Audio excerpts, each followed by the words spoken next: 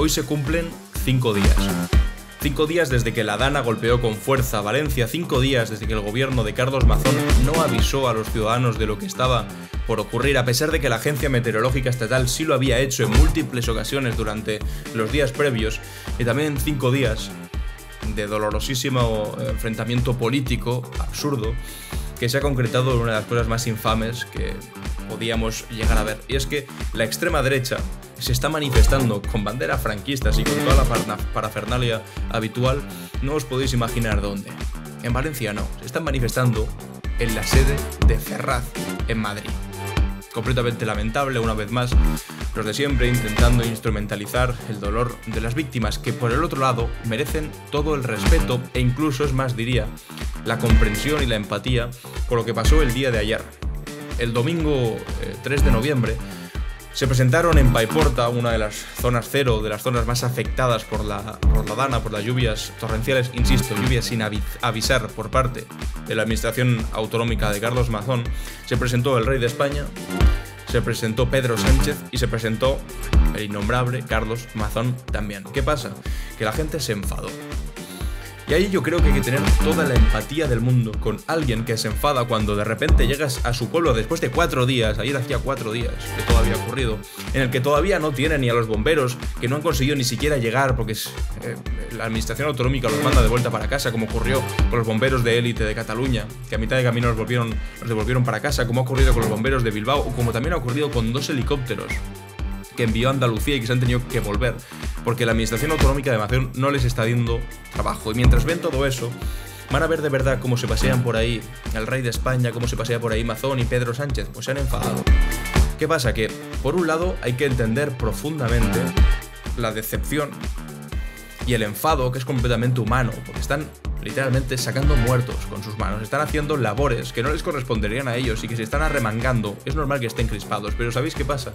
Que ahí de repente, e insisto, comprendiendo perfectamente la situación en la que están y empatizando al 100% con ellos, ahí ha aparecido pues alguna que otra gente que como de costumbre siempre se acercan a las desgracias sociales para intentar sacar rédito político. Enseguida vamos a verlo, vamos a ver unos vídeos, unos vídeos bastante largos en los que pues, se ven básicamente de la forma en la que actúan estas personas. Pero ¿qué ha ocurrido? Bueno, pues que finalmente esos, y no los vecinos que están intentando decir son unos violentos y más, no, no los vecinos de ahí, sino gente de fuera que había venido ahí porque les habían avisado previamente. Vais a alucinar con esta historia. Les han destrozado el coche a Pedro Sánchez, le han tirado un palo, y básicamente pues querían hacer lo imposible, hacer lo innombrable, mejor dicho, contra el presidente del gobierno, pues cualquiera, en cualquier otro momento, una cosa de estas características habría supuesto una condena, una condena rotunda, explícita y al momento del principal partido de la oposición. Sin embargo, ¿qué pasa? Que el Partido Popular no solamente no lo ha condenado, Feijóo está completamente callado, las agresiones contra el presidente del gobierno, por supuesto, contra el rey de España sí ha condenado, contra el presidente del gobierno no ha dicho absolutamente nada, sino que hay algunos, como Rafa Hernando, Rafael Hernando, de alguna manera justificándolas. Es alucinante. Vamos a ver también en este vídeo qué pasa con esta guerra de competencias. ¿Quién tiene razón? ¿Deberían activar el nivel 3 de alerta para que asumiese las responsabilidades del gobierno? ¿Debería eh, quedarse en el nivel 2 y que Mazón, que es un incompetente demostrado, que no sé por qué no ha dimitido ya, siga gestionando todo este asunto? Lo vamos a ver y lo vamos a explicar con la ley en la mano teniendo en cuenta que somos un Estado descentralizado, autonómico y que parece que algunas personas, bueno, pues simplemente dicen eso para llevar la contraria. Cuando se estableció el estado de alarma durante la pandemia, recordáis lo que dijeron, ¿no? Estado de alarma es igual a dictadura, Pedro Sánchez dictador, en fin, ahora están pidiendo exactamente lo contrario. Para finalizar, vamos a ver también cómo el mundo ha dicho, bueno, pues que la EMET igual ha cometido algún error y que tiene cierta responsabilidad. Bueno, pues la EMET, la Agencia Meteorológica, que son científicos, aunque ahora están diciendo que es parte de Moncloa y del socialcomunismo, etcétera, etcétera, barbaridades, les ha contestado. Y la verdad que no ha dejado títere con cabeza porque hay que hacer muy mala sangre, hay que tener muy mala conciencia, hay que ser muy mala persona para arremeter contra la de que tantas veces advirtió de lo que iba a pasar. Hoy es lunes 4 de noviembre y esto es Clave Barroso. Estás escuchando Clave Barroso un podcast de Alán Barroso. Os debo una explicación antes eh, de nada. Como sabéis, yo os había advertido la semana pasada, el viernes pasado no hubo capítulo porque estaba de viaje, porque eh, he estado por Washington, he estado por Nueva York. Mm, si me seguís en mis redes sociales, eh, habéis visto que he compartido algunos vídeos hablando sobre el proceso electoral que ahora mismo estoy aquí cubriendo junto al HuffPost, el Huffington Post.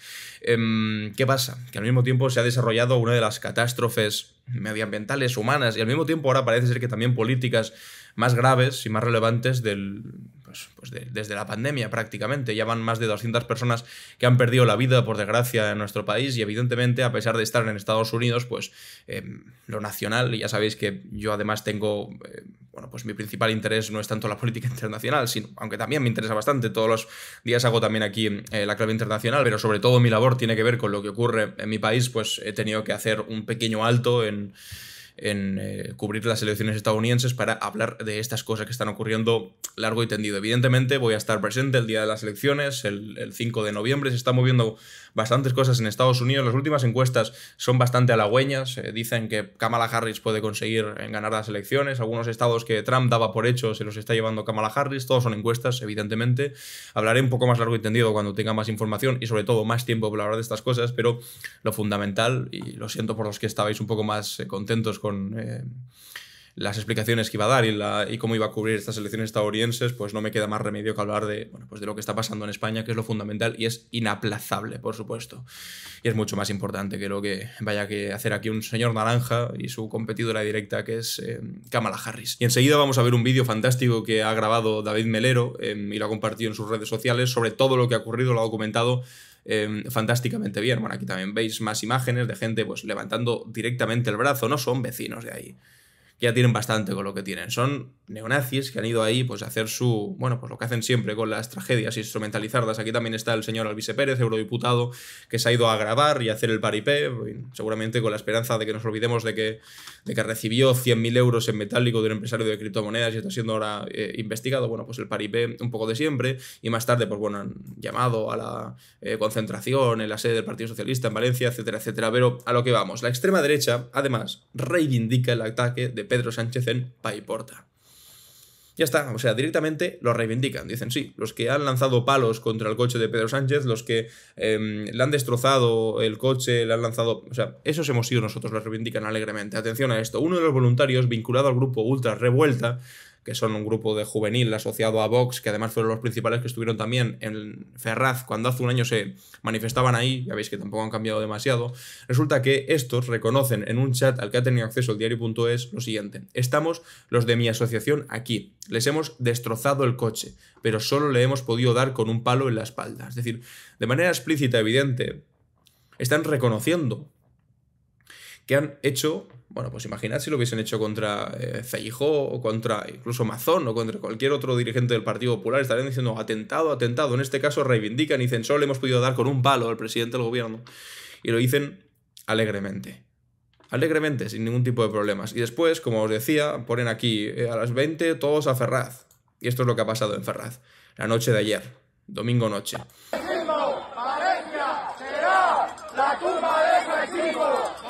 Están gritando Valencia será la tumba del sanchismo, agitando, como podéis ver aquí, banderas, literalmente de la dictadura, literalmente dos banderas de la dictadura con el pollo estampado, gritando en Madrid que Valencia será la tumba del sanchismo. Cuando yo vi esto, pues lo siguiente, tú dije, les importa tanto Valencia que se han ido a la sede del PSOE en Madrid en Madrid se han ido a la sede del PSOE para protestar por algo que le corresponde al presidente valenciano del Partido Popular que no lanzó a tiempo la alerta cuando la EMET hacía días que lo había avisado. Les da igual Valencia, su obsesión es ideológica y lo que están intentando es cobrarse pues las presas que se quieren cobrar, ya está. Lo quieren ir contra Pedro Sánchez, no importa cómo y no importa instrumentalizando el qué, y en este caso han decidido que bueno será coger esta lucha legítima, esta indignación legítima del pueblo valenciano y llevárselo a su terreno. Y ahora irse a Madrid, aunque también hay gente en Valencia, pues que esto, bueno, la mayoría por fortuna no se lo está comprando. ¿Cómo vas a convencer a alguien de no, no, estamos en Madrid delante de la sede del Partido Socialista? En todo caso, ¿por qué no te vas a manifestar delante de la sede del Partido Socialista? No sé, en Valencia. Ah, no será porque en Valencia, la comunidad valenciana, no gobierna el Partido Socialista, sino que gobierna el Partido Popular y precisamente con el partido de extrema derecha, Vox, hizo el pacto que al final llevó a quitar la unidad de emergencias valenciana, que tanta falta habría hecho ahora. Bueno, pues a la mínima que rascas un poco, pues ves la poca vergüenza de esta gente, que sobre todo con este llamamiento que os leía antes de a las 20 horas todos a Ferraz, el espíritu de Valencia trasladado a la sede del PSOE, no puede ser más ruin y zafio. Porque el espíritu de Valencia, si es algo, no es gentuza con camisetas neonazis, tirando palos, reventando coches. Si hay un espíritu de Valencia, tiene que ver con la solidaridad de los pueblos, tiene que ver con la solidaridad de la gente que de manera desinteresada y masiva han acudido a ayudar. Quien tenía una pala llevaba la pala, quien tenía otra forma de ayudar iba con esa forma de ayudar, quien tenía un tractor iba con el tractor, quien solo podía dar comida daba comida. Ese es el espíritu de Valencia y en el espíritu de Valencia no te preguntaban, ¿eres de izquierdas o eres de derechas? ¿Te gusta Pedro Sánchez? ¿Te gusta Feijo? No. Y tampoco hablan de los inmigrantes ilegales que nos quitan las ayudas. Tampoco hablan de eso. El espíritu de Valencia es gente arrimando el hombro en lo peor de una crisis, como siempre ocurre en este país, porque en este país, por fortuna, lo mejor es el pueblo. Lo mejor es la gente. Que cuando vienen maldadas, cuando vienen problemas de estas características y de esta categoría, se los ponen, se los echan al hombro. Y se juntan y ayudan unos entre otros. Y lo que están haciendo aquí, lo que están diciendo de ir a Ferraz es hacer el paripé, es hacer el payaso, y no tiene nada del espíritu de Valencia. El espíritu de Valencia es gente que está colaborando y ayudando sin que le pregunten de dónde viene o si quiere acabar con Pedro Sánchez. No, Pedro Sánchez. Vamos a sacar el barro de aquí. Vamos a ayudar a los afectados. Eso es el espíritu de Valencia. Pero bueno, evidentemente lo están instrumentalizando y lo seguirán haciendo, por supuesto. Vamos a leer esta noticia que os decía que compartía el diario.es, donde la extrema derecha ha reivindicado el ataque a Pedro Sánchez en Paiporta. Lo escriben Lucas Marco y Sergi Pitark y enseguida vemos el vídeo que os decía, donde vemos todo lo que ocurrió el día de ayer, el, domingo. El entorno de la Asociación de Ultraderecha Revuelta ha reivindicado el ataque al presidente del gobierno Pedro Sánchez durante la visita oficial de los Reyes a Paiporta, una de las localidades de la comarca de Lorta Sud más afectadas por la catástrofe de la Dana. Además, el sindicato de Vox ha ofrecido sus servicios jurídicos a quienes patearon el vehículo oficial de Sánchez. Esto es alucinante lo tengo aquí, de hecho. Mirad, solidaridad. El sindicato de Vox, y digo sindicato de Vox entre comillas porque es un sindicato curioso que nunca protesta, pues no sé, por la subida de los salarios, por la mejora de los convenios, por la reducción de la jornada laboral. No, simplemente protesta porque España se acaba y tonterías varias de este estilo. Bueno, pues han compartido el siguiente vídeo. Entendemos perfectamente la indignación de los españoles ante un presidente que les ha humillado. Si hay detenidos o multados, nuestros servicios jurídicos están a su disposición de forma gratuita. Y comparten el siguiente vídeo.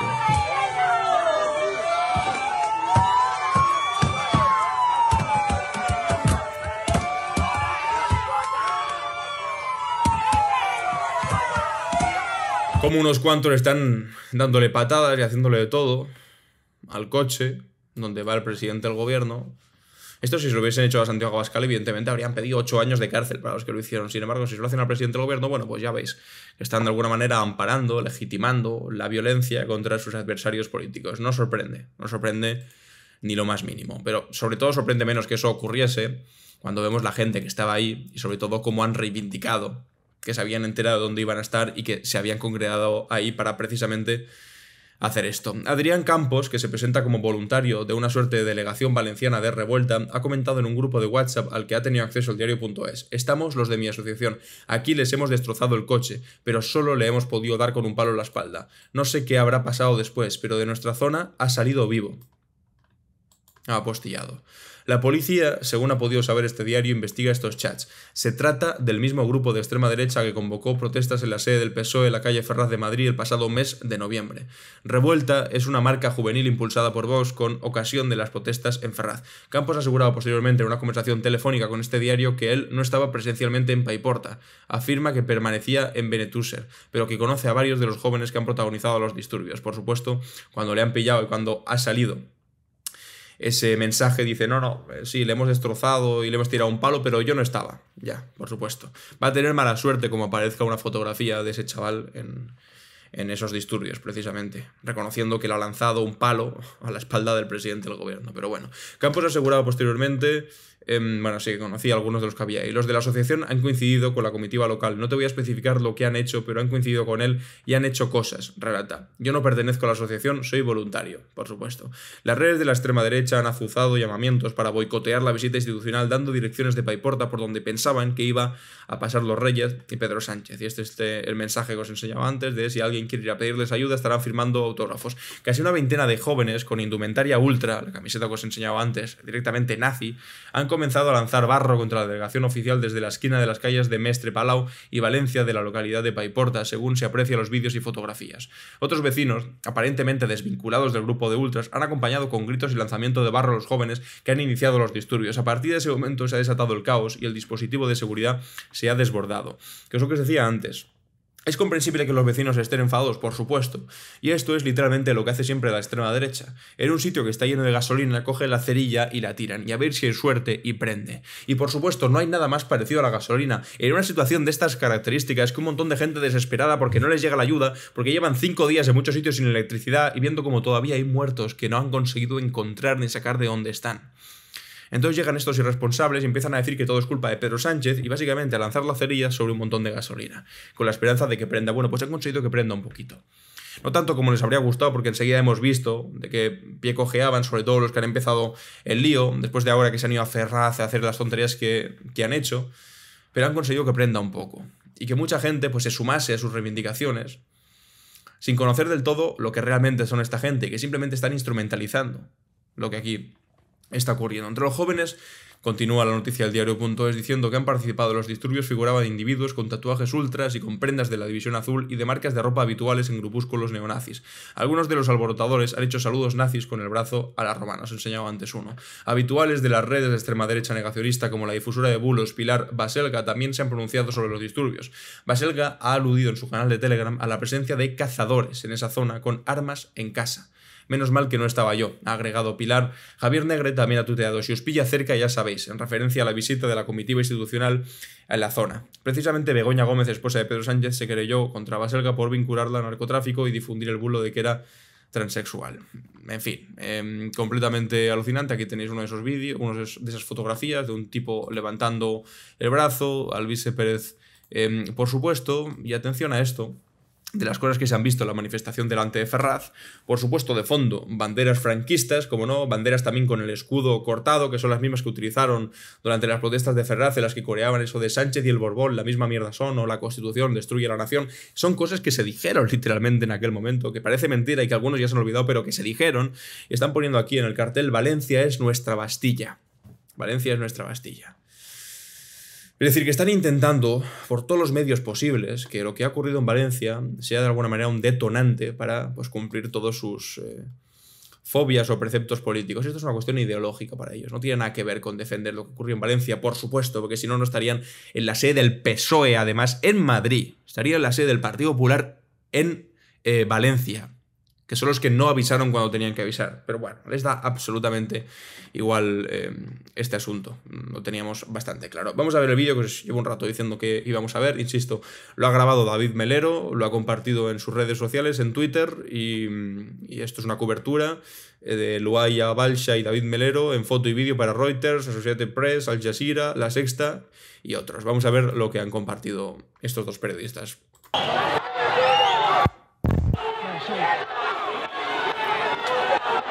Aquí vemos ya cómo está avanzando el rey, cómo le han tirado barro a Amazon también, que está ahí al lado. ¡Sacando muertos!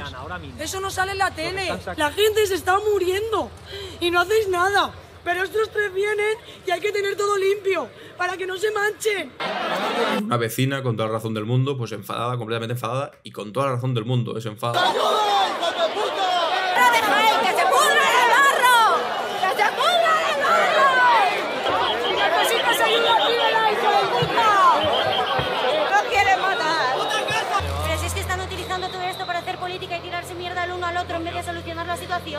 Pues es que no están solucionando nada, no están haciendo nada. Y el otro paseándose, venga hombre, a tomar por culo. Es cuatro días han tardado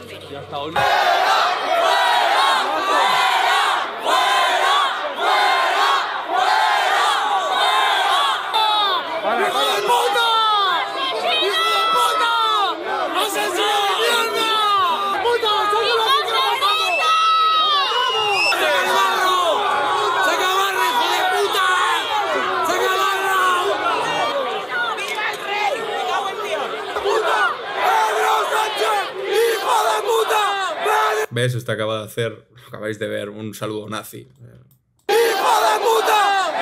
Este evidentemente no es un vecino. Alrededor evidentemente hay muchos vecinos. Y tienen toda la razón del mundo para estar enfadados. Claro que sí. Este de aquí no.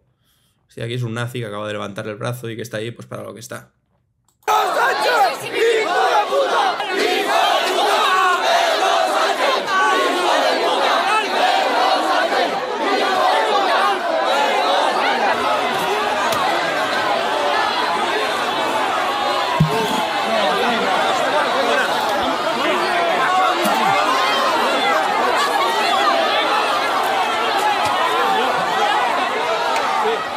¡Hijo de puta! ¡Puta que eres hijo de puta! ¡Vete de aquí! ¡Me cago en tu puta vida! ¡Que se... ¡Asesino! ¡Asesino! ¡Asesino! ¡Asesino!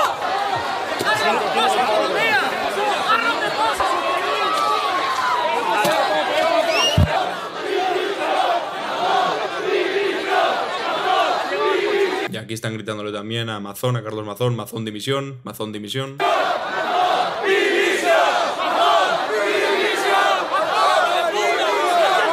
medios han tomado estos 40 años? ¡Tiene que pasar esto! ¡Que haya centenares de muertos! ¡Les importamos una mierda a todos! Y esto es, es que es... ¿Qué le vas a contestar a un vecino que, que lleva cuatro días, seguramente en shock, sin saber qué narices está pasando, por qué se tarda tanto, por qué hay tantos muertos, por qué no se avisó? Normal que esté enfadado. O sea, a esa persona no se le puede criticar, pero ni media, ni media se le puede criticar a esta persona. ¡Y vosotros aquí, hijos de puta, no habéis hecho nada! ¡No habéis hecho nada! Si no vienen los reyes, no viene la televisión. ¡Sí, sí! Aquí una imagen de la reina Leticia con la cara llena de barro, que la gente que le ha tirado barro. Si no viene la reyes, no viene la Perdón, perdón. ¿Dónde está el presidente del gobierno? ¿Dónde está? Pues no lo sé, pero se está bien la reina. Lo que hay que hacer es reivindicar a Pedro Sánchez. Lo que no puede ser es que seamos nosotros, los inmigrantes ilegales que están dejando entrar. Eso no vienen a ayudar, vienen a Y ahora aquí empiezan a hablar de inmigrantes ilegales, tal. Un sitio. Eso lo que vecinales para que no vengan a robar. Justo alrededor sacando barro. No aquí. Aquí no pinta nada. Nada, nada, nada. Nada. Hay que entender que estáis bloqueando la- el movimiento de, de todos los camiones. Es que llevamos dos horas aquí parados por, por, Y por ustedes 200, y 200 sin hacer y por nada. los que ya se han ido. Hemos pagado las putas a su puto sueldo. Don Juan Carlos. Pido ayuda, que yo veo. Hay un tipo diciendo hemos pagado las, las putas a su suegro, a, a Juan Carlos, está diciendo la reina. Y aquí otro tipo abrazando a la reina mientras se está llorando, está Hay destrozado. mucha gente. Estoy intentando ayudar. Yo estoy recién operado de una hernia, pero estoy intentando ayudar lo que puedo. Pero hace falta más. Nosotros no somos profesionales. Ayúdanos, por favor. Ayúdanos. Aquí le da un abrazo a. Estén a fer la mà i deixa treballar! El rei, viva Espanya! Grita uno, un militar que estaba por ahí, viva el rey a España. Y ahora atención, le contesta otro. Guillotina per al rei! Guillotines borbons! Empieza a decir guillotina para el rey, guillotina a los borbones. No és democràtic una monarquia! Seguimos, ¿no? Abrir, abrir, abrir. Bueno, y ahí pues ya se ha ido al final, el rey también, en su coche, en una visita que ha sido un error de principio a fin. Tanto Pedro Sánchez como Mazón como el rey no podían presentarse ahí sin soluciones, simplemente a, ver qué pasa. Sin ser conscientes de que narices, pues evidentemente la gente se iba a enfadar. Y más, si además se había difundido por ahí, es que no tiene asesores, no, no entiendo, no entiendo lo que es lo que pasa ahí. No, no tienen asesores y tienen los asesores más torpes del mundo a la hora de sacar esto adelante. Pero es que además si se difunde por grupos de extrema derecha que van a estar ahí, pues evidentemente se están juntado ahí los nazis con vecinos que están evidentemente enfadados. Y de eso, pues las consecuencias que se han acabado viendo. Bueno, aquí esta cuenta de Twitter, este usuario que se llama Mariano Rajoy Fake, dice lo siguiente, con mucha sensatez, dice, Pedro Sánchez tiene la culpa de que, dos puntos. Primero, Mazón estuviese recogiendo un premio en plena alerta roja. Segundo, Mazón tardara 12 horas en darle el aviso de emergencia. Tercero, que Mazón no solicitara a la UME, la Unidad Militar de Emergencias, a tiempo. Y cuarto, que Pedro Sánchez, que, que Mazón sea un inútil. Pedro Sánchez tiene culpa de todo esto, parece ser. Porque esto es lo que se le está criticando. Eso de la extrema derecha yendo ahora delante de Ferraz a decir Pedro Sánchez es culpable. ¿Culpable de qué concretamente? De todo esto. De que Mazón sea un inútil y no esté interviniendo como ellos creen que debería estar interviniendo. Bueno, pues vamos a escuchar a esta chica, a Blanca Ibarra, que eh, lo he puesto, en algún vídeo lo he puesto en mi canal secundario, creo ya, pero es la mejor forma de escuchar y de entender por qué se ha llegado a esta situación y qué competencias son de cada uno, qué competencias son estatales, qué competencias son autonómicas y cómo se tienen que hacer las cosas bien. Que en este momento entiendo que es complicado, que es difícil, que hay gente que siempre tiene la solución para todo, pero las cosas son difíciles. Esta mujer lo explica eh, eh, explícitamente como es. Muy bien. No pensé que este vídeo fuese necesario, pero viendo las redes sociales un día más, está claro que sí. Hoy el debate nacional ha sido que por qué no se decreta el estado de alarma, que por qué Amazon tiene que pedir o si tiene que pedir tal o cual cosa. Y yo hoy pretendo solo explicar de la manera más clara y sencilla cómo funciona legalmente nuestro país. Mirad, la comunidad valenciana ha activado el nivel 2 de emergencia en respuesta a la DANA. ¿Es el máximo nivel de respuesta? No, existe un tercer nivel. La diferencia entre el nivel 2 y el nivel 3 es que en el nivel 2 es la comunidad autónoma la que dirige la emergencia y le pide al Estado lo que necesita y el Estado debe proporcionar, evidentemente, pero siempre bajo la dirección de la comunidad autónoma. Esto es una cuestión legal de reparto de competencias. ¿La Generalitat podría decidir activar el tercer nivel si lo considera necesario? Sí. Y esto implicaría la cesión del mando al Estado, centralizando la emergencia. Pero de ser así, esto tiene que activarse desde el territorio familia porque vivimos en un Estado descentralizado. ¿Y por qué no decreta el Gobierno de España el estado de alarma y asume las competencias? Esto legalmente se podría hacer, sí, pero no parece lo más adecuado para este tipo de emergencia, porque como se ha venido explicando a lo largo del día de hoy, implicaría retirarle el mando a los técnicos que ya están allí trabajando sobre el terreno para poner al mando a los del Estado, lo cual, si no es voluntario, probablemente generaría más caos que mejora. Tenéis que entender que el tipo de emergencia es muy diferente al de la pandemia, el conocimiento del terreno es muy importante. Por eso hoy me parece especialmente irresponsable la actitud de algunos dirigentes políticos que están pidiendo que se imponga este criterio en contra de la visión de la Generalitat Valenciana. Por no hablar de lo que otros dirigentes políticos dijeron sobre el estado de alarma durante la pandemia cuando morían miles de personas cada día. Lo dije ayer y lo repito hoy, no es el momento de la confrontación. Si mañana la Generalitat cambiase de criterio y decidiese subir el nivel de la emergencia, porque considera que no es lo más adecuado seguir dirigiéndola desde el ámbito regional, pues se cambiarían los mandos, pero consensuadamente. Y por favor, insisto en algo que ya dije ayer. Pido a los grandes influencers y creadores de contenido que por favor amplifiquen la información oficial. Que seguir vertiendo rabia en redes sociales por A o por B lo podemos hacer todos, pero en este punto que aún es de caos, la rabia no ayuda a nadie. Pues ahí está una explicación, creo que ha sido perfecta, diáfana, es que tiene que ver con eso. Si Amazon declara el nivel de emergencia 2, el Estado no puede intervenir todavía, solamente en aquello que le pida en Amazon. Lo que pasa es que ya habéis visto, lo que os decía antes, los bomberos de Cataluña, que se tuvieron que volver, los bomberos de Bilbao, que no les dejan ir, los helicópteros de Andalucía, que tienen que volver a Andalucía. La gestión de Amazon es un caos, un auténtico caos. Entonces, aquí le tendrían que decir, oiga, Amazon, active el nivel 3, sería él, Oye, si no podéis y sois unos auténticos eh, inútiles, perdón por decirlo de esta manera, pero unos auténticos inútiles, pues entonces asumidlo y dadle la dirección al Estado. ¿Qué pasa? Que si el Estado hiciese esto y si Pedro Sánchez mañana dijese, venga, pues aplico, aplico lo mismo que apliqué durante la pandemia y ahora tomo las, las, eh, las directrices de la comunidad autónoma y a partir de ahora la gestión es mía. Primero, lo llamarían de todo, de dictador para arriba, ya estamos acostumbrados. Y segundo, es que tal vez no sería eficiente, porque implicaría cambiar toda una cadena de mando, que es una cosa muy delicada, muy complicada y que después de unos días ya funcionando, bueno, funcionando, porque debería funcionar bastante mejor de lo que está funcionando, si de repente te pones a cambiar todo eso, igual lo que haces es retrasar todavía más cosas que son muy urgentes, como encontrar desaparecidos, gente que todavía puede estar viva. El otro día eh, recibíamos la noticia de que una mujer después de tres días encerrada en su coche, en un sitio que no se podía llegar, estaba viva todavía, que puede haber supervivientes todavía. Ahora no te puedes poner a cambiar todos los mandos, es decir, es una situación que al mismo tiempo que es perfectamente comprensible de, joder, podría hacer algo más Pedro Sánchez a la hora de sacar a este tipo que es un inútil al frente de la gestión de lo que está ocurriendo, pero al mismo tiempo dices, hombre, pues se entienden los argumentos de quien dice, oye, pues si no es el gobierno autonómico quien lo propone y de una manera concreta, escalonada, no puedes de repente llegar ahí y decir, venga, todo esto para mí y te cargas el control de mando y a saber cómo acaba siendo, cómo acaba siendo todo ese asunto. Es algo pues bastante más eh, difícil de lo que, de lo que algunos están, están diciendo. Bueno, pues mucha atención a lo que en un momento determinado ha dicho el rey de España, que estaba hablando con algunos em, manifestantes o algunas personas que estaban ahí en Paiporta después de que les tirasen barro y demás, ha dicho lo siguiente, lo voy a leer porque no se escucha demasiado bien, dice, no hagáis caso, no hagáis caso a todo lo que se publica, porque hay mucha intoxicación. Hay mucha intoxicación informativa y hay muchas personas interesadas en esto. ¿Para qué? Para que haya caos. Y mucha gente está interesada en esto.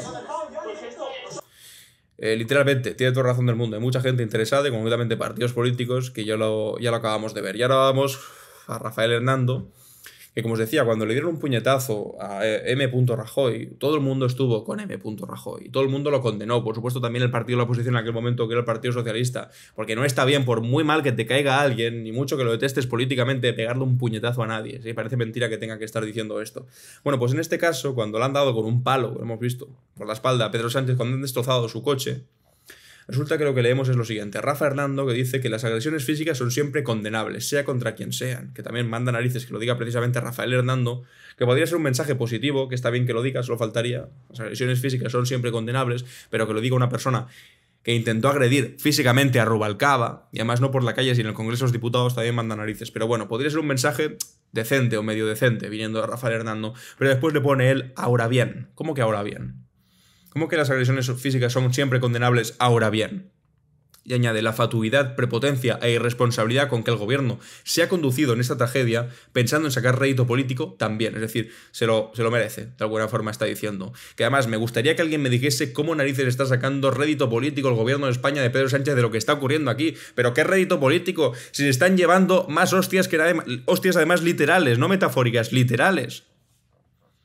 ¿Pero de qué habla de sacar rédito? Pero si se está manifestando delante de Ferraz en Madrid por una cosa que es de manera explícita, evidente, notoria, lo sabe todo el mundo, culpa del Partido Popular de Valencia. Si es que lo dicen hasta otros partidos populares del resto de España. Te lo están diciendo, que es un inútil. El señor Mazón. Lo están diciendo ellos mismos. Que lanzó la alarma a las 8 y 12 del día 29, cuando la gente ya le estaba entrando el agua por la ventanilla del coche. Que tú imagínate la, tú imagínate la, la situación estás completamente anegado y mientras tanto te suena el móvil y te dice, ten cuidado que igual, igual hay tormenta. Cuando ya estás completamente metido. Es que es, lamentable. Y aún hay gente que está diciendo, no, pero ¿de quién es responsabilidad? Por Dios. Cuando la EMET, y ahora vamos con lo de la EMET, había avisado no sé cuántas veces no sé cuántas veces que iba a ocurrir. Vamos a ver ahora cuántas fueron. Pero es que no es el único. Este senador, Vicente Azpitarte, el senador del Reino de España, andaluz si no me equivoco, dice el momento de la huida de Sánchez al constatar que el pueblo de Valencia le considera el culpable del caos. Y sube el vídeo orgullosamente de cómo le tiran el palo ese, de cómo se lo llevan, y dice el momento de la huida, constatar que el pueblo de Valencia, el pueblo de Valencia, los nazis que habían ahí y vecinos enfadados, por supuesto. Y lo comparte, como no sé, reivindicándolo, reivindicando que se haga este tipo de cosas, reivindicando la violencia contra Pedro Sánchez. Y rápidamente quería ver esto. Eh, Ayuso, en su momento, cuando ella tuvo que lanzar una alerta, a pesar de que la deteste políticamente, es evidente, no, no, es, o sea, no es un secreto que la deteste políticamente, pero cuando tuvo que lanzar la alerta por una dana que hubo en Madrid, la lanzó. O sea, que esto no es una cosa que tenga que ver de izquierdas, de derechas, de Partido Popular, de Partido Socialista, y cercanía ideológica, es que literalmente Ayuso lanzó la alarma de la dana hace un año, cuando hubo una dana también en Madrid. Y mientras tanto, Vox, ¿sabéis lo que decían? No que saquen estas alarmas, porque cada uno tiene que ser libre si quiere morirse o no en una inundación, y que no suene ese pitido porque es totalitario y Pedro Sánchez, decían. Es que tienes que reírte de lo infame que eran esas declaraciones cuando un año después ha pasado lo que ha pasado. Y ahora está la Vox pidiendo que por favor que envíen al ejército a Valencia y no dicen ni mu. Primero, de que fue requisito suyo para formar gobierno con Carlos Mazón, porque recordad que Carlos Mazón gobierna solo desde hace poco desde que salieron los de Vox de su gobierno, pero empezaron a gobernar gracias a los votos de Vox y los metió en su gobierno y una de las condiciones era eliminar la unidad de emergencias valenciana, que ahora no iría mal, o sea, creedme que no iría mal algo de ese estilo. Y además después dijeron eso, que las alarmas estas que había que suprimirlas. En fin, es que de verdad que tienes que alucinar. Bueno, pues además ahora resulta, y esto ya es completamente alucinante, que luego te metes en el mundo, el diario El Mundo, y lees el siguiente titular lo comparten en Twitter, y dice, ¿cómo queda la reputación de la EMET con la DANA? Quizá los protocolos son insuficientes y no están hechos para soportar el nuevo escenario del cambio climático, dice Jorge Benítez aquí. Claro, evidentemente la EMET y muchos usuarios se han enfadado porque ¿qué tontería es esta de cómo queda la reputación de la EMET con la DANA? Y aquí Víctor García, este usuario de Twitter, dice, la reputación de la EMET con la DANA, parece mentira que haya que decirlo, queda intacta o incluso reforzada porque avisaron a tiempo y con días de antelación de que eso iba a ocurrir. Mientras tanto, vosotros os empeñáis en arrastrar la vuestra por el suelo a la mínima oportunidad, que mientras moría gente estabais más preocupados por Begoña Gómez. Y esto es verdad, se me había olvidado por completo. Pero es que el mismo día en el que esto ocurría, al día siguiente, a que no sabéis qué es lo que estaba publicando El Mundo en su portada. Es que esto es alucinante, es que esto es completamente alucinante. Esto era lo que publicaba El Mundo.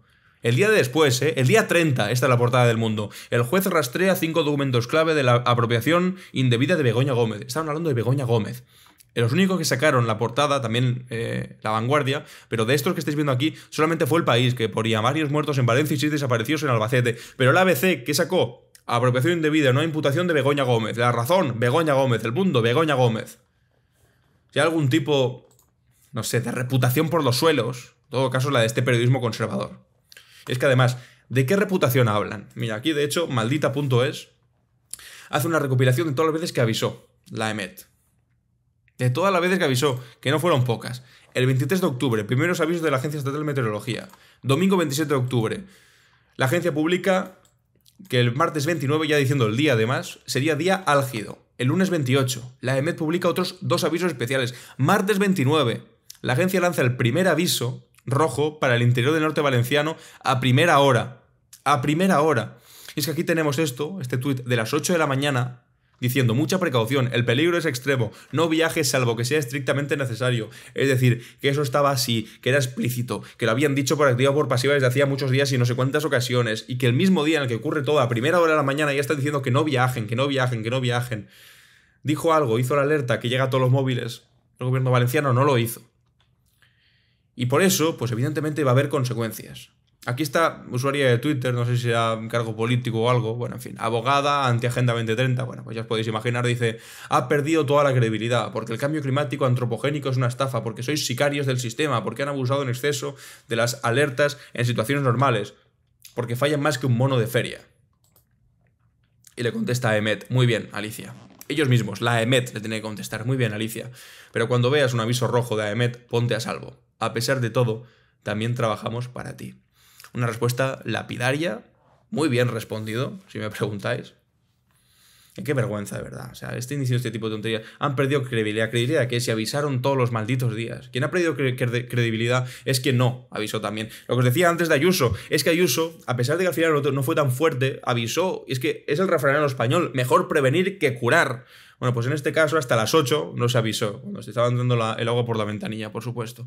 Y aquí este, este usuario de Twitter dice, resumamos la cronología de los hechos actualizada. La embajada, de, es que esto es alucinante, se me había olvidado esto, es que la embajada de Japón el día, ese mismo día, antes que la Generalitat Valenciana, había avisado a sus ciudadanos que estaban de vacaciones en Valencia que tuviesen cuidado que no saliesen de casa. La embajada de Japón. Y Carlos Mazón no podía decir nada. Bueno, pues la embajada de Japón envía alarmas. La Universidad de Valencia suspende clases. Pedro Sánchez tiene la decencia de llamar a Mazón desde la India, cuando estaba de viaje oficial en India, para preguntar cómo va la Dana. Mazón dice que va bien y que no necesita nada. La Diputación manda a sus funcionarios a casa a las 12. Los funcionarios sí que los mandaron a casa, al resto de trabajadores no dijeron nada sobre ellos. Mazón sale diciendo que eso terminaba a las 6 de la tarde, a las 6 estaba media comarca inundada y a las 8 finalmente lanza la alarma de que cuidado pasan cosas cuando literalmente estaba todo inundado. Todo inundado. Y me gustaría que escuchaseis este vídeo sobre una de las cosas más dramáticas y terroríficas que pueden ocurrir y que durante los próximos días tal vez podemos conocer, y es lo que eh, puede ocurrir en el parking de Bonaire, en Valencia. Que no sabemos lo que hay ahí todavía. Escuchad atentamente. Javier, y las labores continúan. A esta hora, lo primero es sacar la tremenda cantidad de agua que anega hasta el techo un parking, creo que decías, de tres plantas. ¿Qué tal, Yelamo? Buenas noches. Sí, eh, le hemos preguntado a los técnicos de la UME cuántos millones de litros de agua, eh, no lo saben calcular. Es un parking este que con las plazas del exterior, eh, quien conozca este centro comercial lo sabrá, quien no se lo vamos a decir nosotros, tiene más de 5.000 plazas de aparcamiento. Las tres plantas ahora mismo se encuentran anegadas. Se está trabajando en la primera planta por la sencilla razón de que no se puede seguir accediendo a la segunda y a la tercera. Hay tantísima agua que llevan desde esta mañana sacando con macrobombas para poder intentar llegar lo antes posible. Esta mañana los buzos han estado, han entrado eh, dentro de ese parking, de esa zona cero del centro comercial de Bonaire. Se convirtió en una auténtica ratonera, el agua llegó muy rápido y han entrado... Es que tú, no se puede, han entrado... Tú imagínate que estás ahí comprando y que estás en el... Eh, cogiendo el coche o lo acabas de dejar o lo que sea, de repente ves como empieza a caer agua, empieza a caer agua, con el coche tú aceleras, pero es que no puedes contra la fuerza del agua, no hay manera de hacerlo se quedas ahí atrapado, empieza a entrar agua, tú tampoco puedes salir con el coche, por supuesto, pero tampoco andando, porque la corriente es muy fuerte. Y te va tirando cada vez más para adentro, más para adentro, más para adentro. Hay tres plantas. Es imposible salir, es una ratonera. ¿Creéis que alguien, si le hubiese llegado un mensaje al teléfono móvil diciendo, oye, no salgas de casa porque igual puede llover y puede haber inundaciones, ¿alguien se metería dentro de un parking de. Hombre, ah, pues alguien seguro que sí, que no se enteraría o de manera inconsciente, lo que sea, la mayor parte de ellos se lo habrían pensado. Y muchos de ellos, es que es crudo decirlo de esta manera porque es, es, es doloroso, y, pero es que podrían haber salvado la vida. Porque este tipo de avisos salvan vidas. Fin. Eh, dentro de ese parking, de esa zona cero del centro comercial de Bonaire, se convirtió en una auténtica ratonera. El agua llegó muy rápido y han entrado los buzos, han hecho una primera inspección. Le preguntábamos, ¿hay algún protocolo cuando se encuentra una persona ya fallecida? Y nos decía, no hay protocolo, solamente hay que comunicarlo y esperar a que lo levante el- ese levantamiento del cadáver por parte del juez. Lo que más pena nos sigue dando es que eh, no había posibilidad de so- En fin, es, que esto es, esto es terrible. Aquí Isabel Ginés en Twitter decía, los cuerpos que salgan del parking de Bonaire serían personas vivas si la alerta hubiera llegado antes y si el centro comercial hubiera cerrado sus puertas sin clientes ni empleados dentro. Claro, que yo os decía, ¿alguien se habría metido dentro si hubiese habido un aviso? No, no, es que la cosa va, va- va de antes.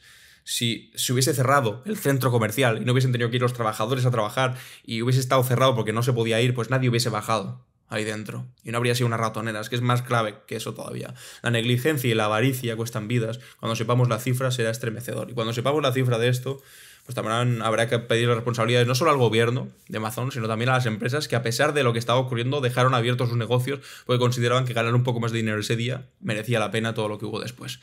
En fin, em, en esta especial de sesión especial de, de clave Barroso no voy a poner ni la cápsula del tiempo ni la clave internacional porque creo que hay que centrarlo todo lo que está ocurriendo en, en Valencia en Valencia ahora mismo. Además estoy en, Estados Unidos, como veis es, es muy de noche todavía y, y tengo muchas cosas que hacer, no me da tiempo para hacer más, pero quería informar en, en el canal, quería informar en el podcast, en clave Barroso sobre todo lo que está ocurriendo. Eh, como os decía al principio, no os preocupéis, eh, quien esté interesado en lo que está ocurriendo en Estados Unidos, voy a estar hablando de ello. En mis redes sociales ya he visto alguna cosa, podéis saberlo, ir a verlo, em, pero de momento lo principal y mi labor fundamental va a ser la de atender lo que está pasando en, en España con la DANA y con la gestión política de toda esta catástrofe.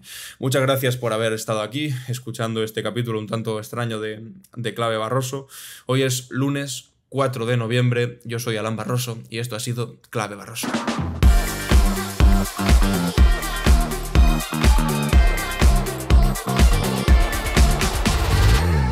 En clave Barroso.